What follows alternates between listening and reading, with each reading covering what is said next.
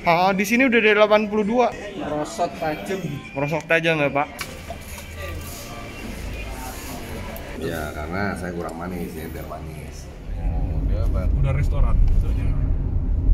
Ya, di mana-mana cabangnya banyak sekali. Ini legend punya. Oke, kembali lagi di channel Fadila Chandra dari Live Photographer dan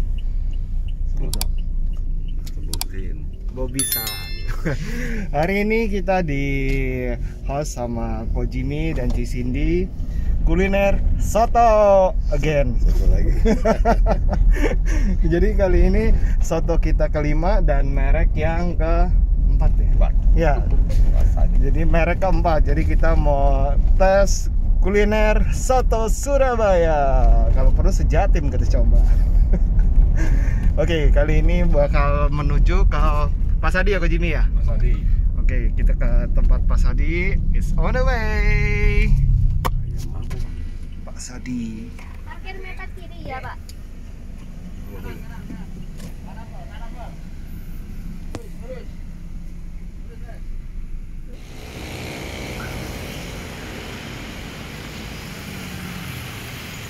Ya, kita udah sampai di Soto Ayam Ambengan Pak Sadi asli. Ini kata Kojimia ini adalah soto pertama di Surabaya dan harusnya sih nggak mungkin mengecewakan bagi kita untuk mencoba.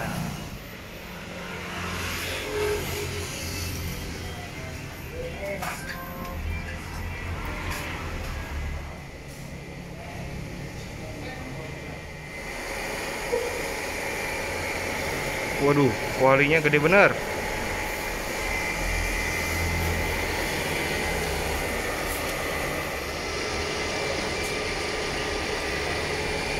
Bruto.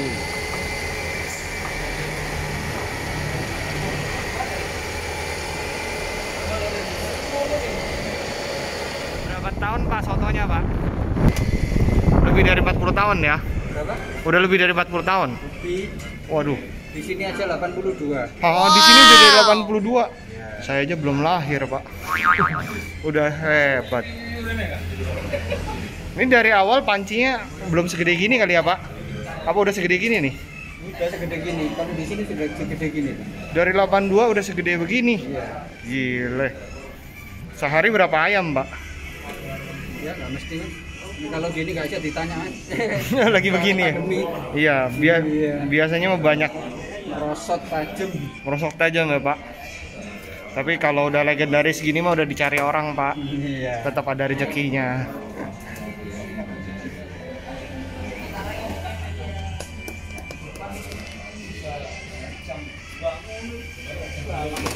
Ada ati, ada bruto, ada telur muda ya.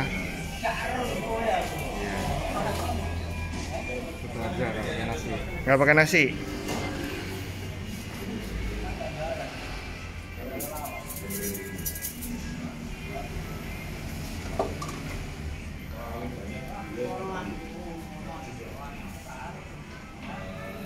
Oh ini ini daftar harganya nih. Ada biasa 25 tambah nasi goceng. Kalau pisah 30.000 kerupuk goceng. Biasa. Waduh, ini kuahnya.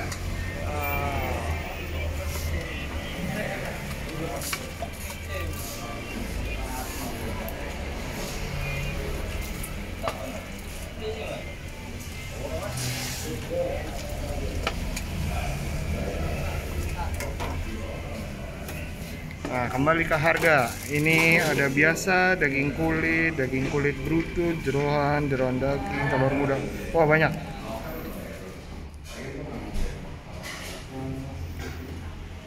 Ah. Iya ya. Di dia di sini aja di gedung ini udah dari 1982, Pi. Dari dari awal pancinya udah segede begitu, Pi. Set.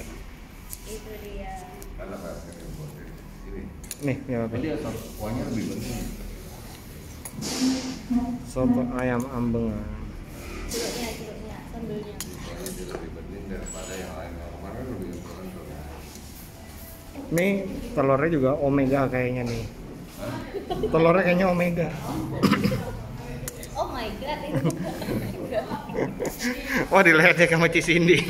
Oh my god katanya telurnya bukan omega. Oh my god. Kayaknya di sini free flow. Biasa kan ditakar-takerin, ini di free flow.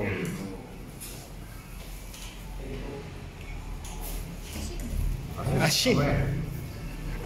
Acin. Makan makan. Gimana Pak? Ini yang soto kelima kita. Ini rasanya lebih soft kayak kental ya. Lebih creamy ya. Ya koyaknya juga koyak apa? Kayaknya kuning banget. Ini kan kayak kasar tuh. Hmm. Kayak nggak larut gitu dari kuahnya. Nah kalau ini yang banyak di Jakarta gitu. rata-rata Jakarta yang kayak gini ya taste-nya ya. Tapi Bapak kok kecapnya banyak banget Pak itu? Ya karena saya kurang manis ya biar manis. Ya, percuma manis cuma di bibir Pak.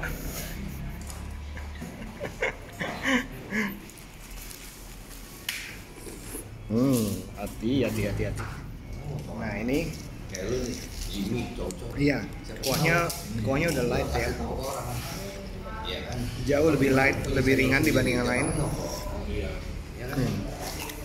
Kuahnya encer dibanding yang biasa-biasanya lebih lebih creamy. Tapi enak. Eh, bagi gue sih nggak terlalu asin. Still oke. kan dia.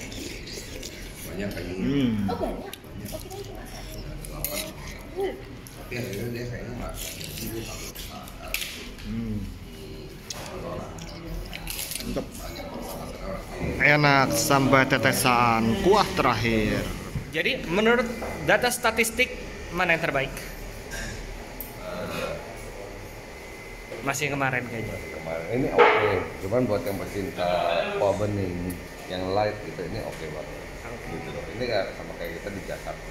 Oke. Jadi ingat Jakarta ya. Tapi Kita enak. besok pulang.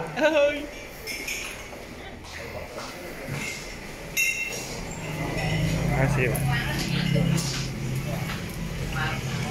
Oke, sekian soto kelima merek keempat. Don't forget subscribe, like, and share. Bye bye.